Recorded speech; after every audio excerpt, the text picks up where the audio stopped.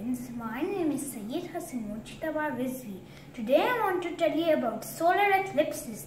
A solar eclipse occurs when the moon moves in between the sun and the earth, causing a shadow of the moon to fall on certain places of the earth.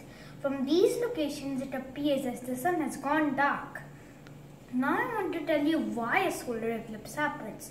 A solar eclipse happens so the moon could finish its orbit around the earth. If a solar eclipse doesn't happen, the moon won't be able to finish its orbit around the earth.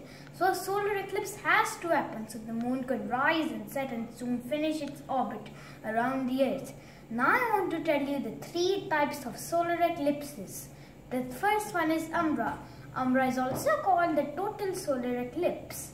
An umbra solar eclipse occurs when the moon completely covers the sun, when you cannot see the sun at all. The next solar eclipse is antumbra. Antumbra is also called the annular solar eclipse. An antumbra solar eclipse occurs when the outline of the sun is visible.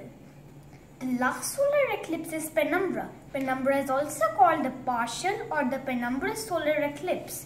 It occurs when the moon only blocks a part of the sun, when we can only see a portion of it, the sun. Now I want to tell you, is a solar eclipse dangerous or not? A solar eclipse is dangerous if we look at it with naked eye. We should look at a solar eclipse with solar filters if we want our eyes to stay okay. We should follow the instructions written on the solar filters accordingly. The next solar eclipse of 2020 will be in December 14. Hence, a solar eclipse cannot be seen from every part of the earth, but where the shadow of the moon falls. Thank you. Goodbye.